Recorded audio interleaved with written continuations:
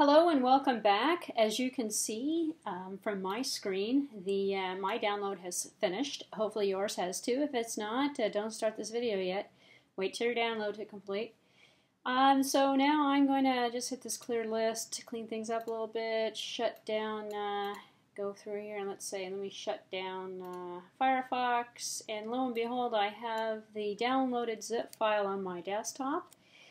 And uh, there's really nothing to the install. Um, we basically just have to unzip the file, copy it into our directory structure somewhere, create an icon, and then see if it works. Um, and so hopefully it will. Uh, so I'm going to right mouse click on the icon and I'm going to select uh, extract all. You don't have to uh, use the Windows extraction utility. Um, you can use you know anything you want. Um, let's see, make this a little smaller. Here we go. I'm going to select next to unzip it. So I'm just going to put it on the desktop for right now. It doesn't really matter where I put it. Uh, but I'd like to just put it on the desktop. I'm just going to manually copy it over. So I'm going to click on next and uh, it's going to go through and uh, it takes a few minutes. It's going to extract out the information um, and put a nice little folder on my desktop so that I can copy it over. I guess, you know, you probably could have saved yourself um, a step or so and just clicked on browse and found the location. Uh, but it, it, actually, when it creates the folder, it creates another folder inside of the folder. So this just gives me a little bit more control um, over what's going on here. Um, so let's see. In a few minutes, the uh, file will be ex extracted and um, I should see it on my desktop. Wait a few minutes here. Okay. Um,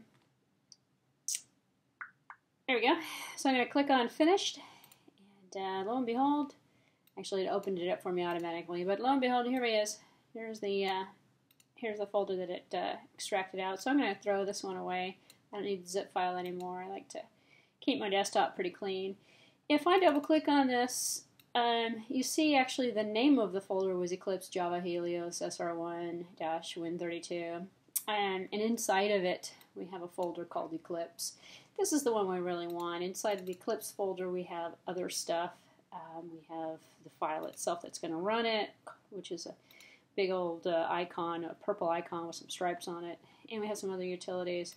So basically what I'm concerned with is just this main folder here. I don't want it inside of the other folder. So I'm going to go to the File Manager, my uh, Windows File Manager, and get to it any way that you want. And uh, I am going to make, make this a little bit bigger here. I'm going to click on my computer to expand that out. Click on the local disk C to expand that out and then uh, I'm going to click on uh, the arrow next, the, the plus symbol next to program files, expand that out. And then here's my Java directory, um, my subdirectory Java inside of program files on my C drive. And I remember from the last video we had the JDK and the JRE6 here. I'm just going to copy the Eclipse into it. So I'm going to go back up and uh, I think it's underneath. Yes it is. Here it is. I'm going to take this Eclipse folder and uh, drag it. I'm just going to drag it into the location where I want it, um, which is going to be in the Java subdirectory here. So I'm taking the Eclipse, dragging it into Java, and so now I have it here. I have uh, Eclipse, and I can see inside of Eclipse subdirectory I've got uh, configurations, drop-ins, and stuff. You don't worry about anything like that. Um, and actually, I'm going to show you a way of running it so you don't even have to add it to your path. If you want to add it to your path, you may. Um, this will allow you to run it from anywhere. Uh, but let's just make a shortcut and uh, a shortcut of the main executable, and then we'll copy that shortcut onto the desktop and we'll run it from there. So if I expand out the Eclipse uh, folder that I just moved over, I see, as I mentioned before, we have the Eclipse icon here. Um, it looks like a big old purple so I don't know what that's supposed to be. It looks like a big old purple circle with some white stripes on it. Um, in case this is the one we're looking for. So take that one and right mouse click and create a shortcut.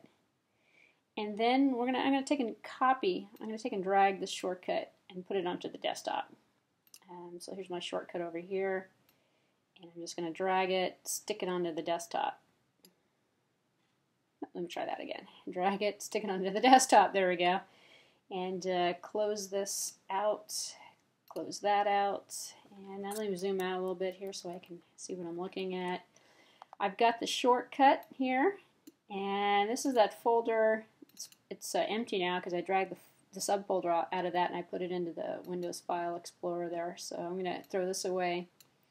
And uh, now I'm actually going to put the shortcut, I'm going to put it in the, my taskbar as well.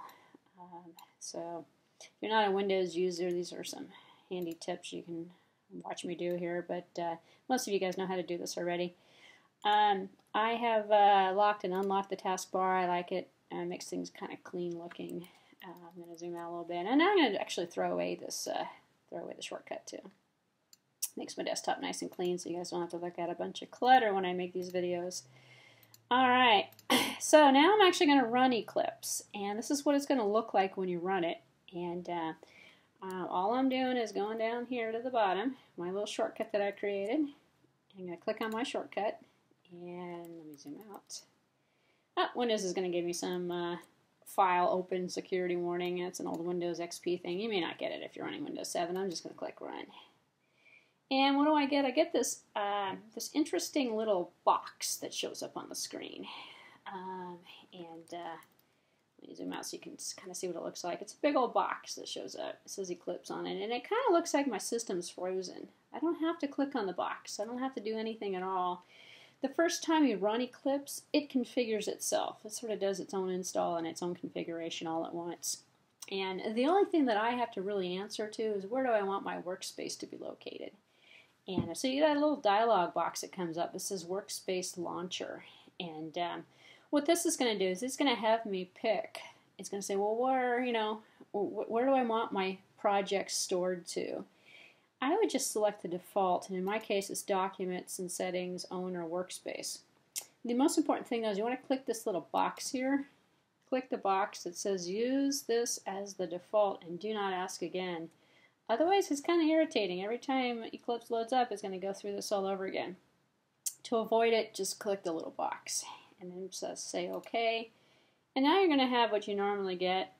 Um, if you see at the bottom of the screen here, you see there's a, a white line with some green um, status indicators and essentially just let it sit there, let it do its own thing. And uh, eventually what's going to end up happening is the main IDE window is going to show up.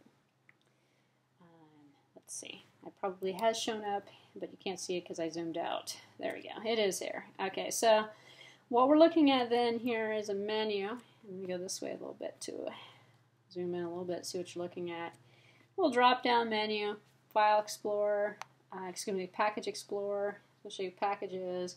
At this point, what I would do is kind of go through and don't close any of the screens or anything, but run through and check out the menu options and get kind of familiar with the interface.